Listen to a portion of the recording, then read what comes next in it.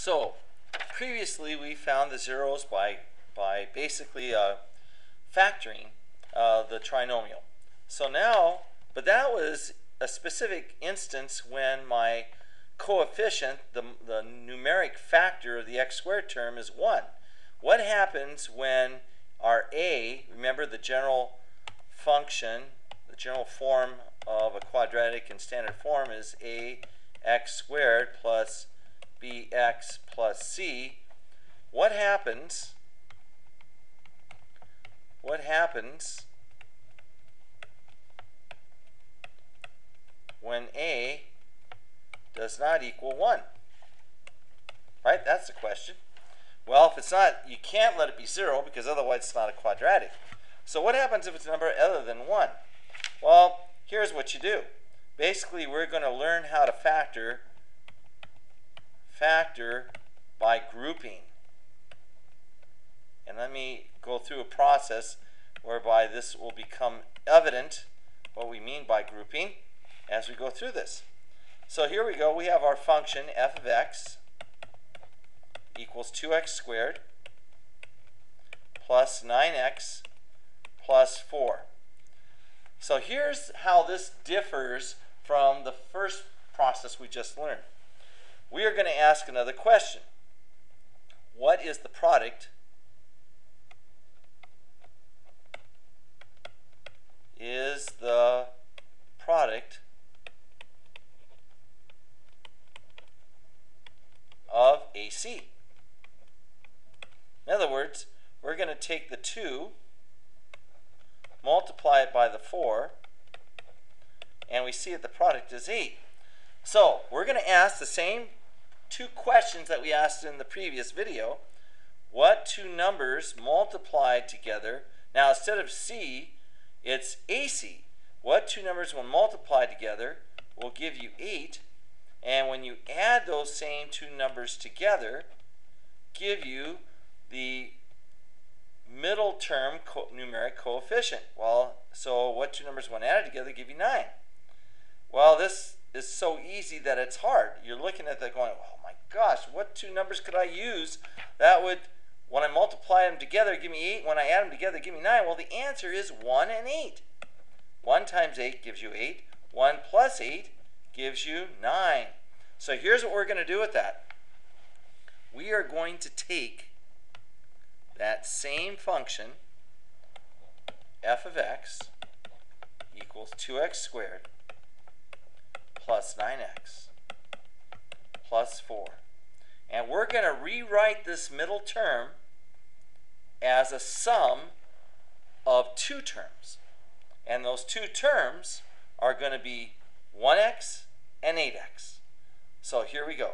We're going to go f of x equals 2x squared plus 1x plus 8x plus 4. So it looks just like it did before, but we broke this 9x up into a 1x and an 8x. Now, we're going to use the term, now hence the term grouping. We are going to group these two. Let me get my pen going here. They're going to group these four terms into two groups of two terms. So we're going to go 2x squared plus 1x plus 8x plus 4.